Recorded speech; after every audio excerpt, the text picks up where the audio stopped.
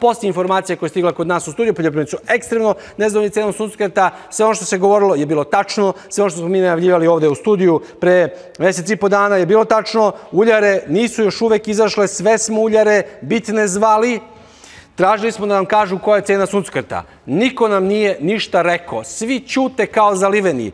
Ono što se saznalo u petak ponudila je jedna firma ponudila je, ali trgovačka firma, 470 evra tona, što je opet mnogo, mnogo niže od onoga što smo svi očekivali.